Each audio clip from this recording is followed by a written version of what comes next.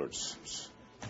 ერთი გვერდი უდრის ერთ თეთრ სამსახელწოდების საქველმოქმედო აქცია დღეს ჰიპერმარკეტ გუდვილის მიმდებარე ტერიტორიაზე სტუდენტები მათ წამოიწყეს. წიგნის საერთაშორისო დღესთან დაკავშირებით აგრარული და თავისუფალი უნივერსიტეტის სტუდენტები მათ მიერ შეგრეულ წიგნებთან ერთად უნივერსიტეტების გამომცემლობისა და ბიბლიოთეკების ლიტერატურასაც ყიდიან. ბაზრობაზე თითოეული წიგნის ღირებულება სიმბოლურია და გამოცემის გვერდების რაოდენობის მიხედვით განისაზღვრება.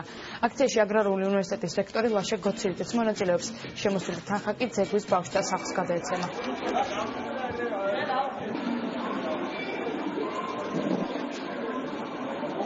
ციგნთა შორისო დღესთან დაკავშირებით ჩვენმა სტუდენტებმა ძალიან ორიგინალური აქცია შემოგთავაზეს.